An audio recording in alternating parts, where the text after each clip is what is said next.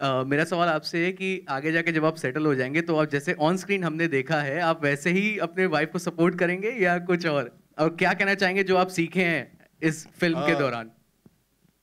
यार uh, पहली बात तो मुझे खाना बनाना थोड़ा बहुत ही अभी आता है क्योंकि फ़िल्म के लिए मैंने बारह पंद्रह दिन मेहनत की थी किचन में पहली बार घुसने की। इसके पहले I took it for granted because I have grown up in the lap of luxury genuinely I say that I have had people taking care of me and catering to my needs for these years And I never quite understood how much effort it takes to be able to be the selfless that housewives are.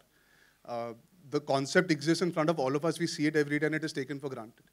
Uh, the film deals with something very important where because we take it for granted somewhere, सब कहते हैं ना अरे तुम तो बस घर पे बैठी रहती हो वो घर पे बैठती नहीं है वो घर बनाती है she sacrifices, she lets go of a lot of her own needs and desires and ambitions so she can fulfill and nurture y'all. um, and uh, me included. So when I, when I heard the film, for me, the most important part was um, I would like a lot of men to see this film and just go and give their wife a hug at the end of the day and make them realize that yeah, we value you.